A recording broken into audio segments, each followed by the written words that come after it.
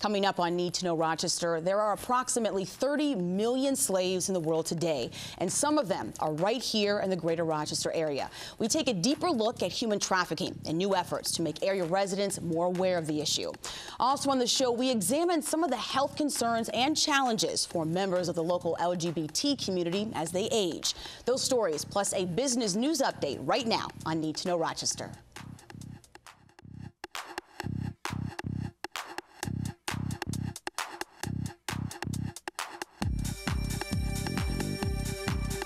Rochester's news magazine since 1997. This is Need to Know Rochester.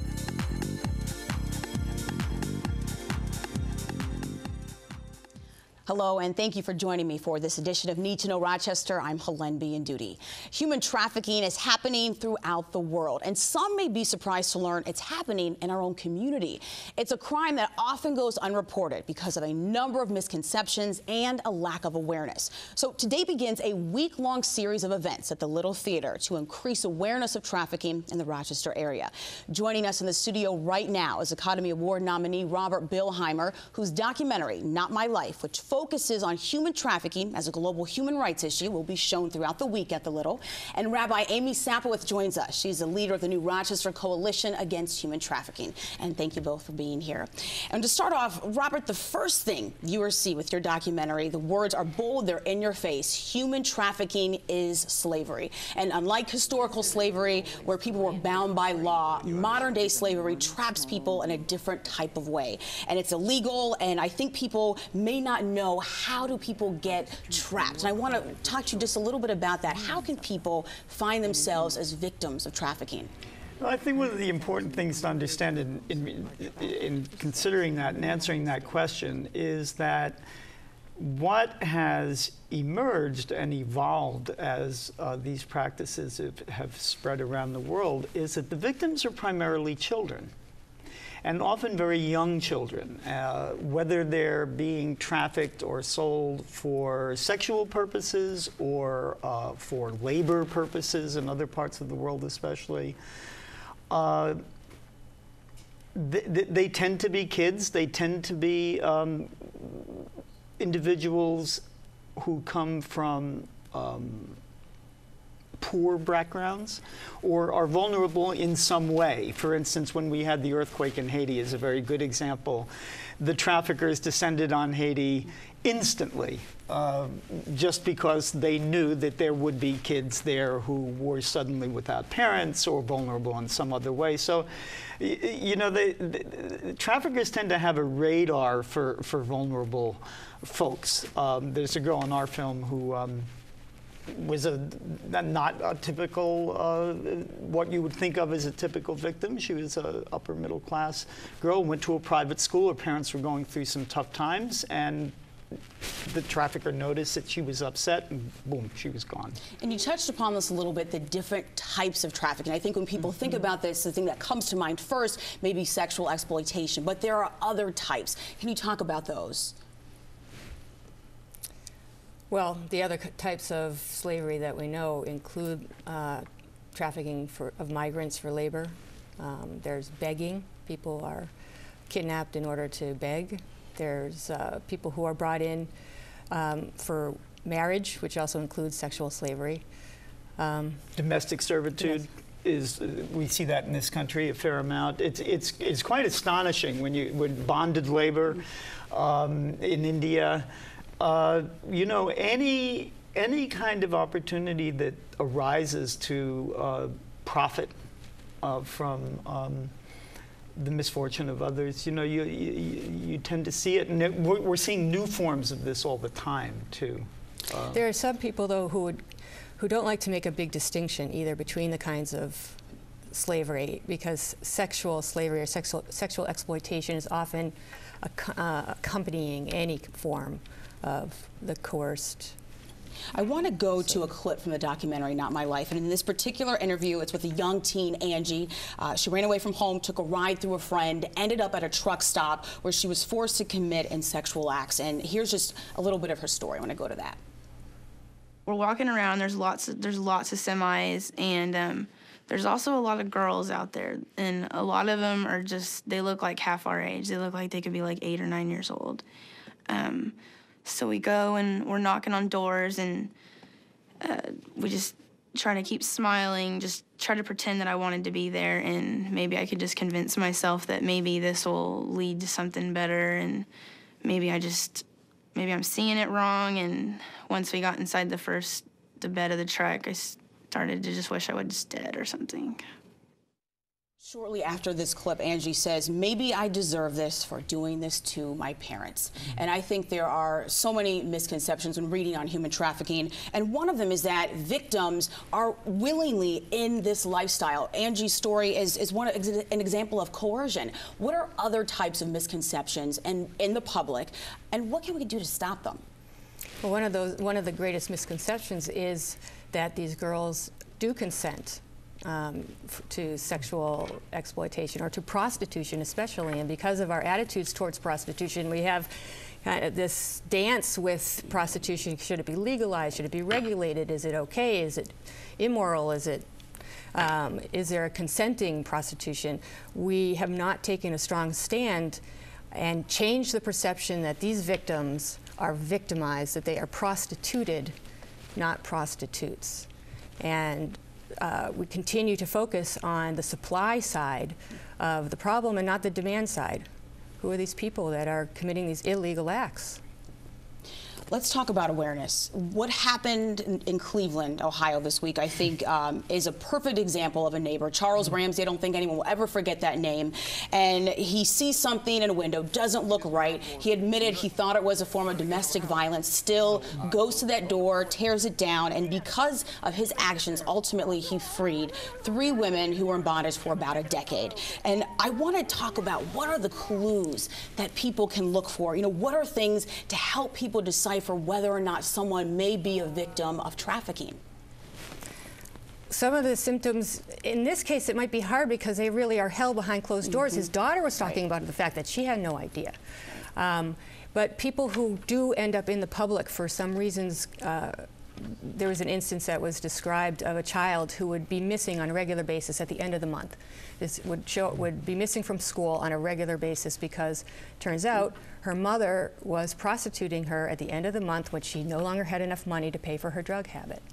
So teachers in that situation can pick up on uh, that kind of odd uh, pattern or sometimes children speaking about topics that seem inappropriate for their age or not they, they're not well kept their hygiene is lacking or there are telltale signs. There are sudden changes, you, you, know, changes in behavior, and this is all about sexual trafficking. And, you know, there's a fair amount of, of literature out there now.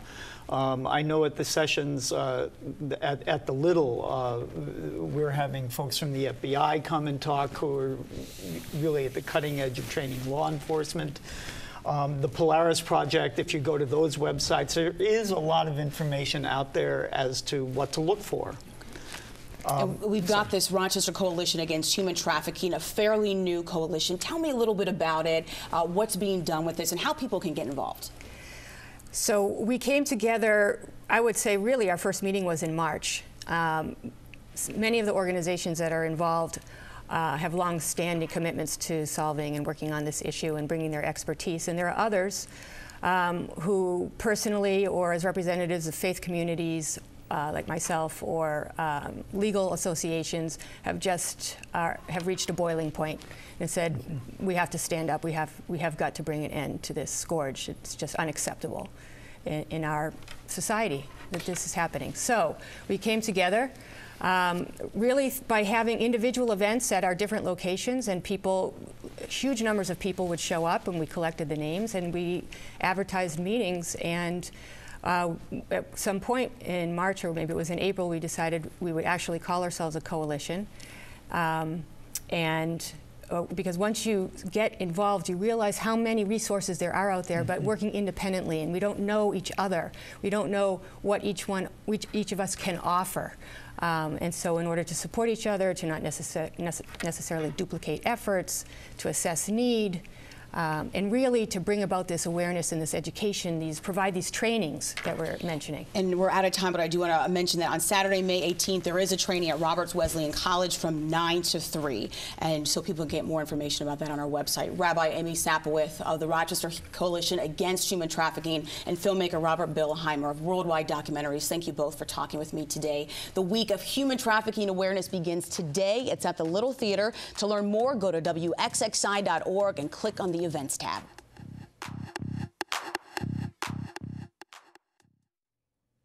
We all know that aging is a natural part of life. We can't change it, and we certainly can't stop it. As the number of older Americans continues to grow, so does the number of lesbian, gay, bisexual, and transgender seniors. Researchers say the number of LGBT seniors in the U.S. is expected to double by 2030. And according to a study by the University of Washington School of Social Work, LGBT seniors face unique needs such as fear of discrimination, less social support, and a lack of kids to depend on as caregivers. Organizations and colleges across the country, including here in Rochester, are hosting conferences and workshops to teach healthcare providers how to treat LGBT baby boomers with care. WXXI's Carlette Claire has more. Anybody want to start early? Growing older is never easy. I pushed the button. My job is half done. But for 85 year old Bud Menard, the common aches and pains that come along with aging isn't the only challenge he's working out. Some doctors do not want to tr- treat gay people. Menard is one of thousands of gay, lesbian, bisexual, and transgender seniors living in Rochester who worry about how healthcare providers will treat them if they can no longer care for themselves. There's, it could be an occasion where they might set up something so you die. So many older LGBT people remain tight lipped, often retreating back into the closet about their sexual orientation or gender identity with doctors or their peers in retirement or independent living facilities. You have to be aware of your surroundings always. The worry is being mistreated or not receiving quality health care. It's the beginning of your elderly life, see. So do you somehow see that there's you- a difference? I think you begin to wonder what the future is going to be when you get older, see. After living at St. John's Meadow Independent Living Center for eight years, Menard finally put his flag on the door three months ago. I figured it was time. Even a documentary, Gen Silent, was filmed to bring attention to the issue. A lot of people believe that you just live happily ever after, and that just is a myth. People like ourselves, older, are hiding in nursing homes or whatever because they are scared to death. You just know when they don't want you there. Joanne Metzler also worries about her future as a non operative trans woman. The fear is just being laughed at, being made fun of, particularly not having the right pronouns used. Metzler lives alone and doesn't have a good relationship with her family. Tomorrow I could be in an accident, and I may need, you know, home care. Um, and my concern with that is, is uh, even though I've had a lot of electrolysis done, you know, if I'm laid up in bed and I have, you know, a home care worker coming here, they're probably going to see something that doesn't, you know, is incongruous to, you know, what they expect. Oh, there's Joanne on the thing, and here's this person with, you know, this scraggly hair on their face. Although society appears to be more accepting of gays and lesbians than in the past, older LGBT adults still struggle with the fear of possible mistreatment. But you don't think about it constantly, but it's there. Well, the older generation has more difficulty with it than the younger generation, uh, the, the people that grew up in the 50s and 60s that didn't know anything about this are the ones that I think have the most trouble dealing with it. That's why Metzler says teaching healthcare providers about the needs of LGBT seniors is important. The National Gay and Lesbian Task Force anticipates that the 4 to 8 percent of seniors who identify themselves as LGBT will double by 2030. Treat us uh, just with respect. For Need to Know Rochester, I'm Carlette Clare. Probably not going to be that much different. And joining us right now to talk more about the healthcare needs for our local LGBT seniors is Dr. William Valenti, Senior Vice President for Organizational Advancement with AIDS Care, and HCR home care nurse Kathy Hart. Thank you both for being here today. And just to start off, what are some of the general health barriers that elderly LGBT residents may face that some people may not even recognize as potential barriers? Couple things. Uh, a lot of LGBT people aren't out to their physician. Uh, physician may not ask, uh, and they may uh, be reluctant to uh, talk about sexual orientation because of fear of discrimination, uh, other kinds of issues that in many cases actually keep this generation of people from accessing health care at all.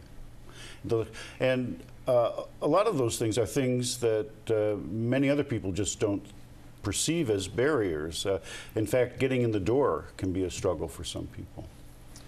Kathy, do you have anything to add to that in terms of barriers that, that you may? Oh, a lot of, especially the older LGBT communities, lived for so long in the closet on fear of being discriminated against, losing their job, losing their families, losing their housing.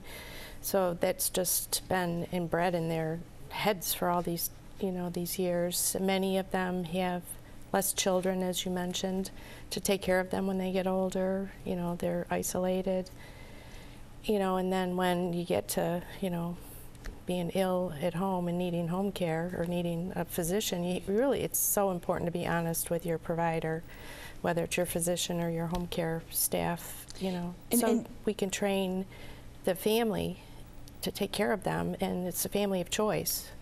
And in that study that I mentioned with the University of Washington, um, the School of Social Work, and you, you addressed this, they found that 20% of participants did not disclose to their doctor their sexual, um, um, their sexual preference, identity, or gender identity, excuse me. And I want to talk about um, what can that mean when you don't share that information?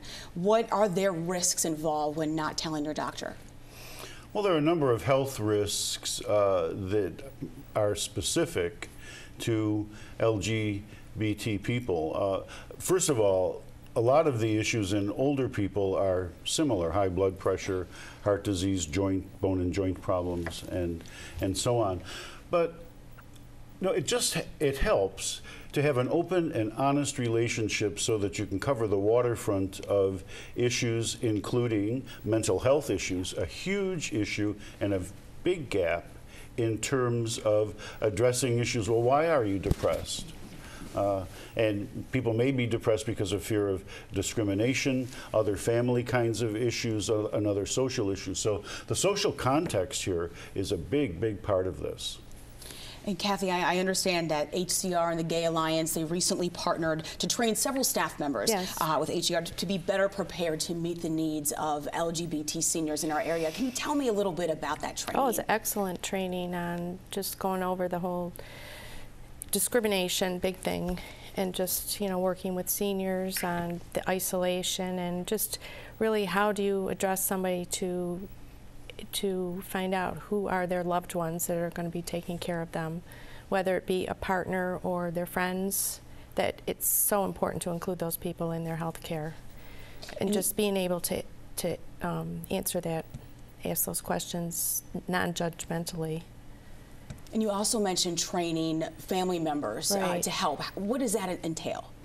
Well, you know, when I go into a home and I have a family, it's not always like a husband and a wife. You know, I mean, even our Hispanics, there's, you know, it's not always a husband. And, you know, you got all kinds of family members coming in, and you want to identify who are the main support people.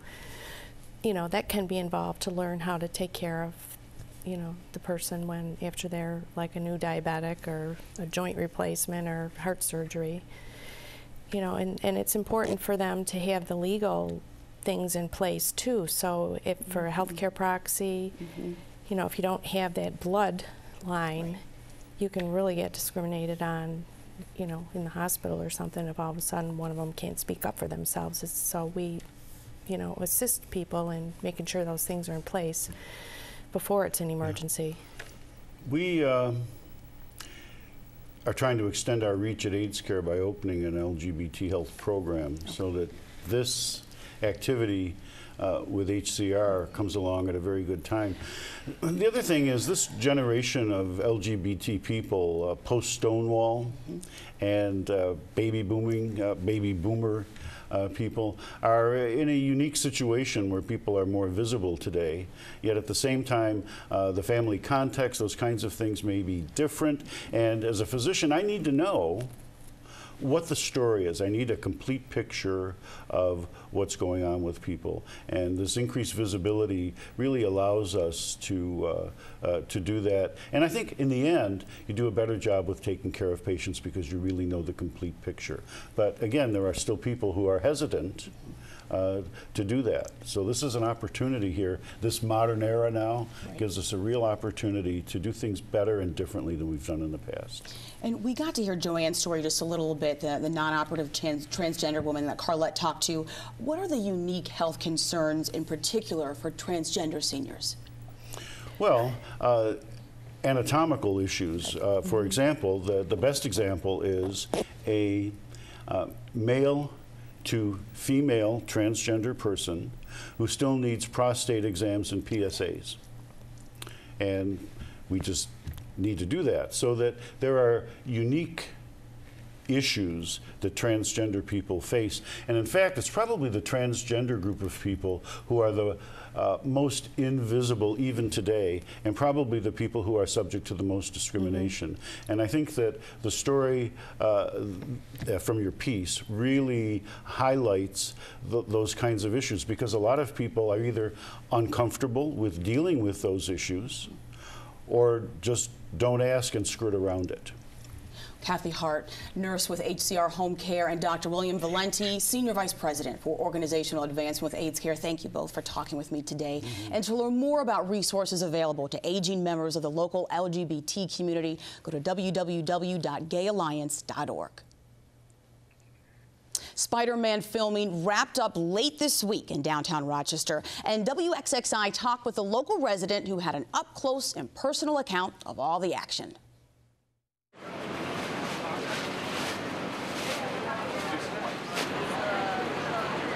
I love it because I stay just right there in the building. I can just actually look out my window and just see everything here. And it's not too many people can say that, you know, they actually filmed Spider-Man, pieces of it, right in front of their house. So I thought it was very cool, very interesting to be a part of, you know, to see a movie being made here in front of my house in Rochester. Time now for a business news update with Matt Daneman of the Democrat and Chronicle.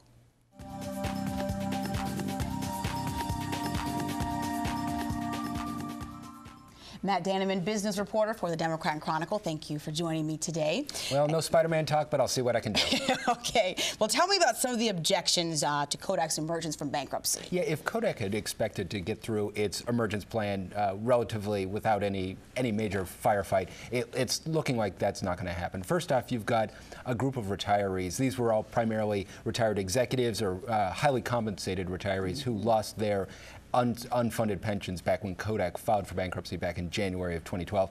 They filed an, uh, uh, paperwork to get representation in court, uh, to have official representation. That, if, if that goes through, that undoubtedly is going to create a whole new dynamic in the negotiations, which could really change the emergence plan. And then just in the last couple days, uh, a one particular shareholder has filed an objection with a long litany of complaints saying here's how Kodak has, in essence, uh, double-crossed shareholders and not done and not done its fiduciary duty for shareholders.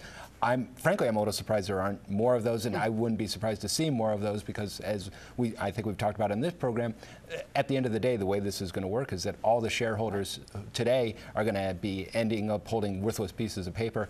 Filing an objection in court is a way to try to see if you can force some kind of change in that. It would be highly unlikely because this is the way most bankruptcies work out for publicly traded companies. Shareholders are the ones who take the bath. But you know, if you've got nothing much to lose because your stock's already going to zero, what the hey? So I, I would not be surprised if we see more of these. Time will tell.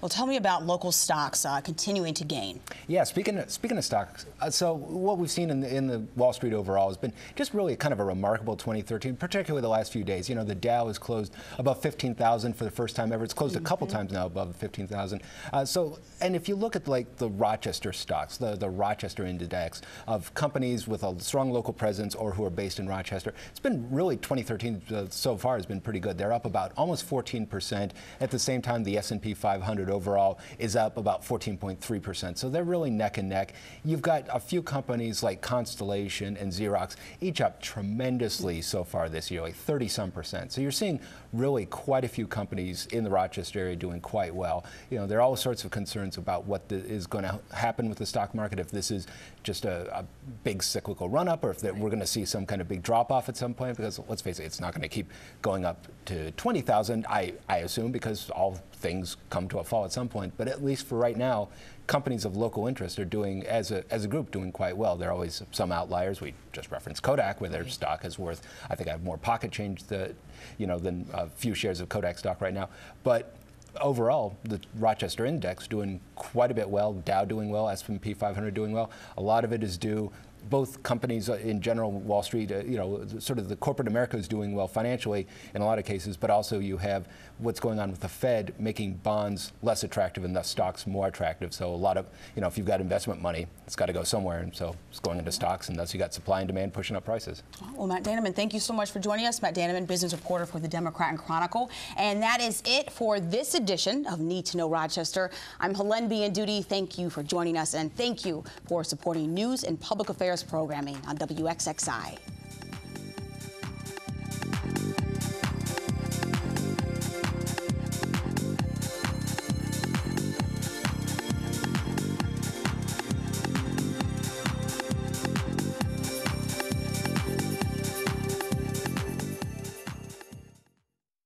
Previous Need to Know Rochester broadcasts can be seen if you have Time Warner's on demand service.